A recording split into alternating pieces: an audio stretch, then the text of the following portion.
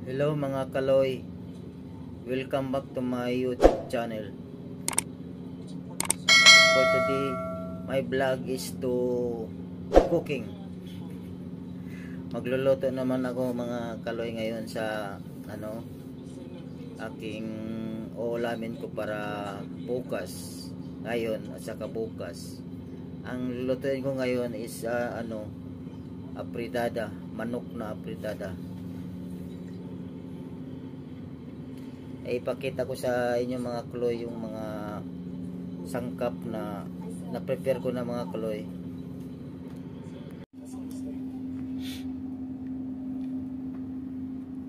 Ito mga kloy yung ano yung mga sangkap na lulutuin ko ngayon. Ito yung manok. Yan ang manok. Mga kaloy.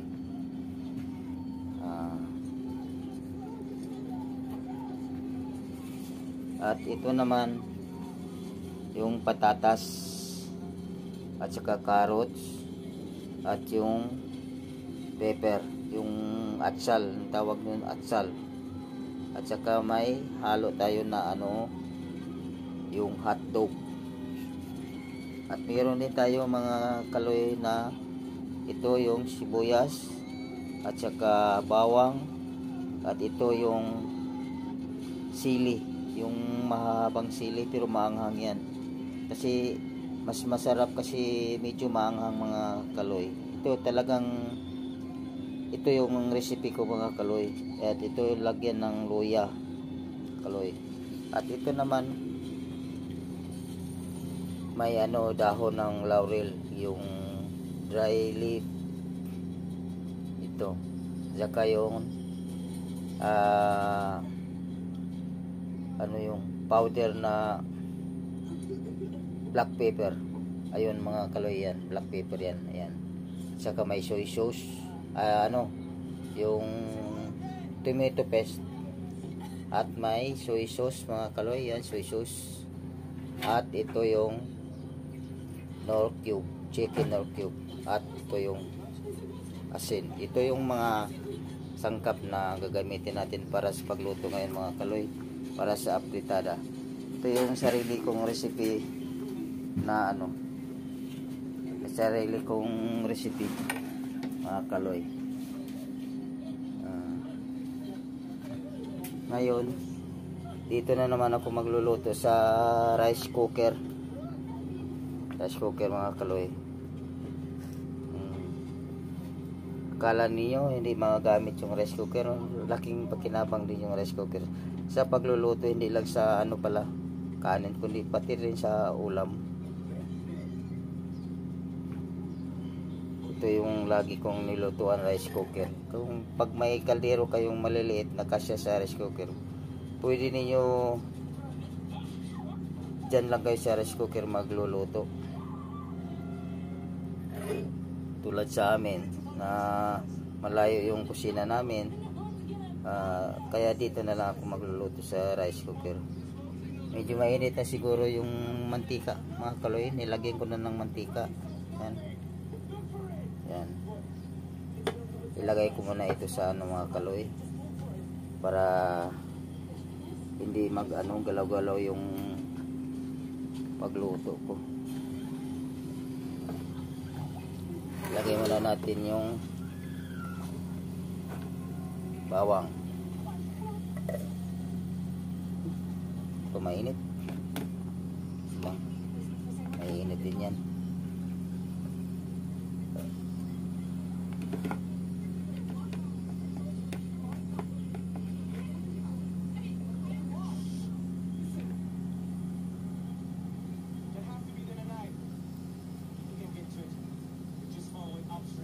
Tapos isunod natin yung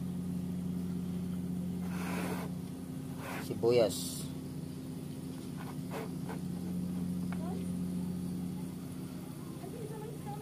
Yan mga kaloy sibuyas. Pa masyadong mainit yung ano mga kaloy pero may init din yan sibuyas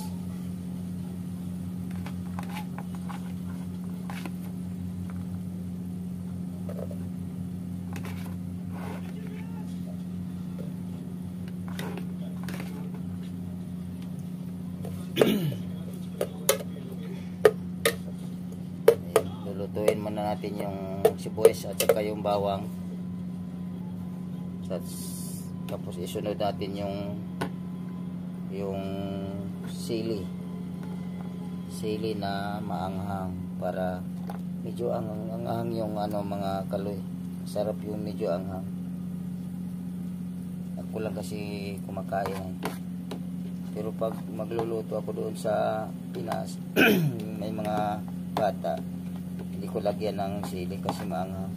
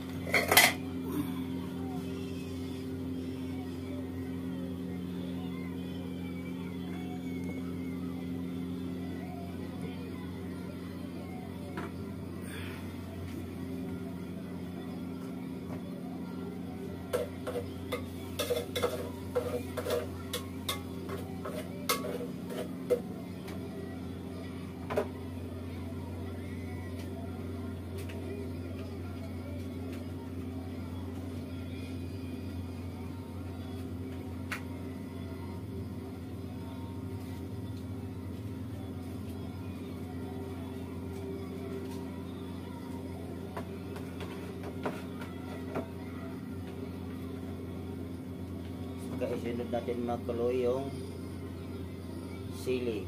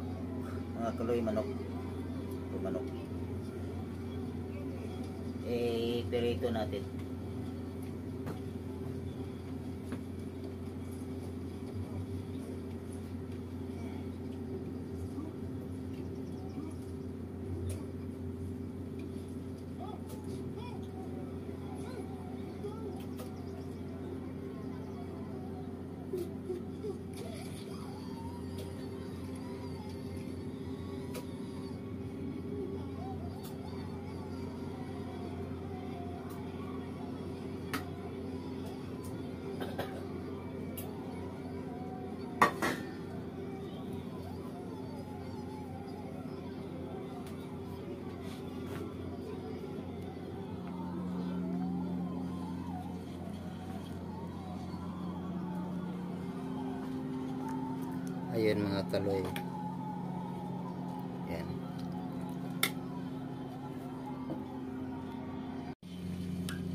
Ayan mga kaloy. oh. Yung manok na ano. ah, medyo ano na siya. Ngayon, lagyan na natin ng ano. Ito. Tomato paste.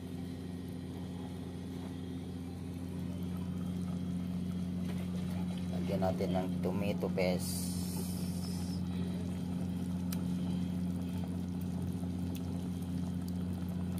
Ayan.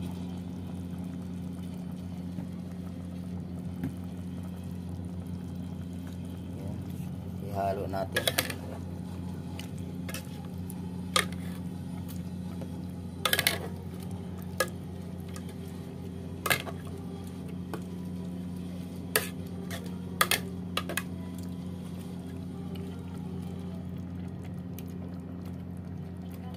Tapos ihalo natin yung eh, ito yung ito. Yung hotdog.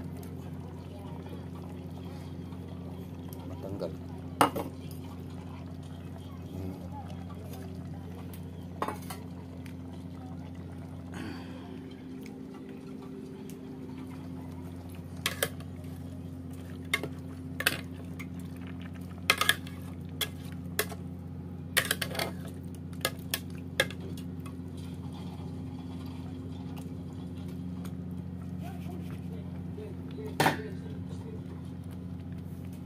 Tapos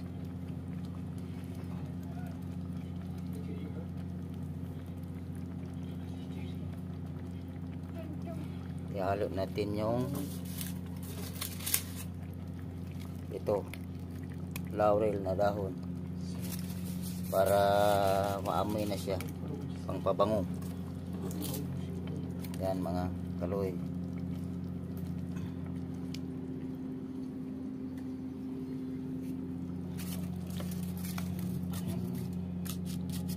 Tapos sa kilid yan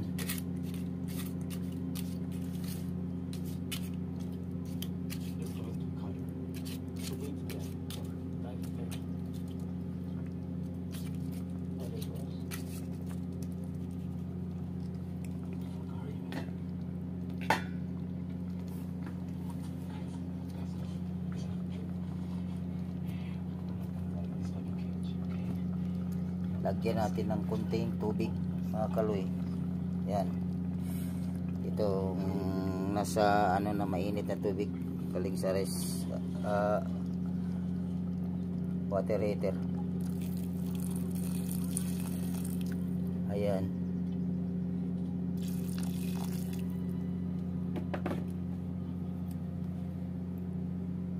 Ah, haluin natin yung kunti mga kaloy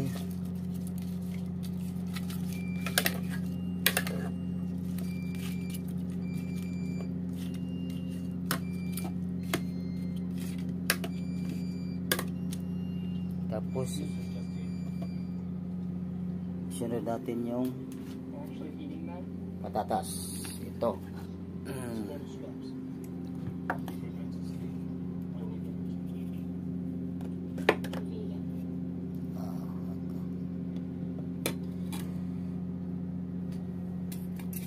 Mga kaloy, sunod natin yung patatas para malapot siya pag maluto na yun ang nagpapalapot lang natin hindi ko lang ginisa yung ano eh.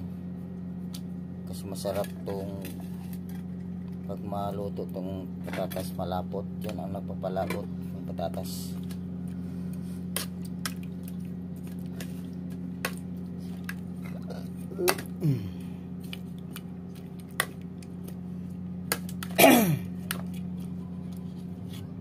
Magluto ako inuubo ako ano ba to tapos sunod natin yung ito carrots. Carrots mga taloy.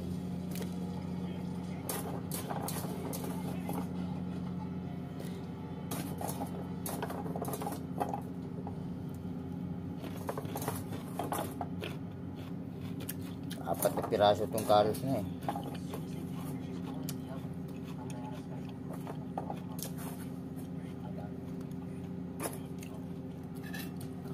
Ayan, haluin natin mga kaloy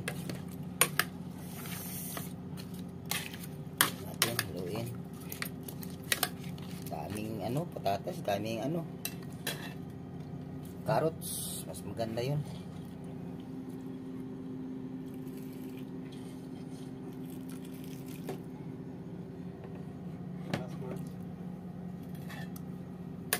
Ayan mga kaloy.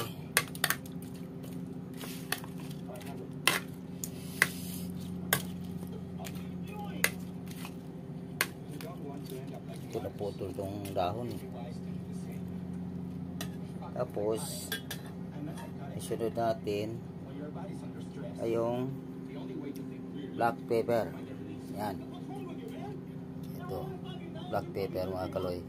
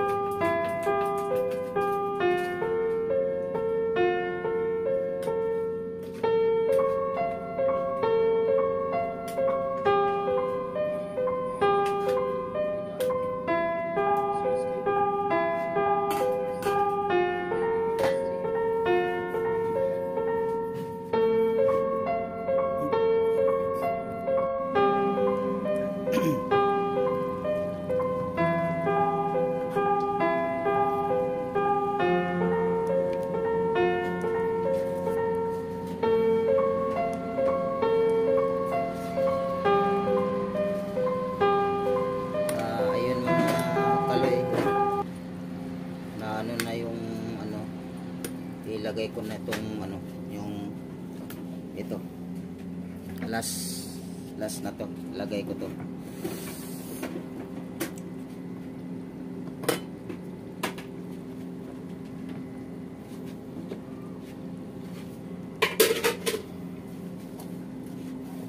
Ito yung atsar atsar. Yung pepper. Ayan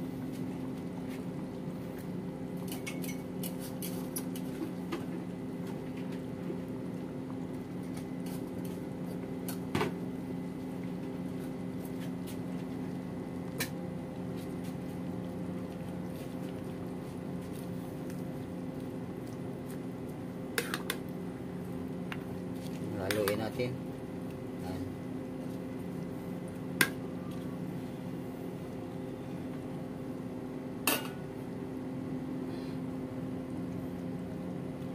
Takpan muna natin mga kaloy Ayan, takpan natin hintayin natin mga 2 minutes ayun kasama ko mga kaloy oh. tapos na kumain eh Hello, madlang people. Are you doing? Are you doing, party people? This is Andrew E once again. Gonna do this song. Just do what this way.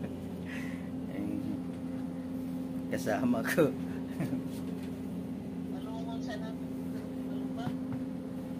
Ah, palaw nga sa kaya ako sa nagtiwason.